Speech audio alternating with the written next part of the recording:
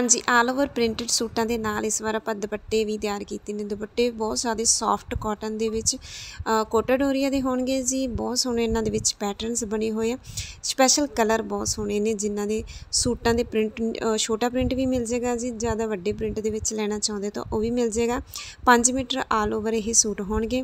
With dupatta shipping all India free ਰਹੇਗੀ। ਕੋਈ ਵੀ suit ਤੁਸੀਂ ਲੈ ਸਕਦੇ ਹੋ।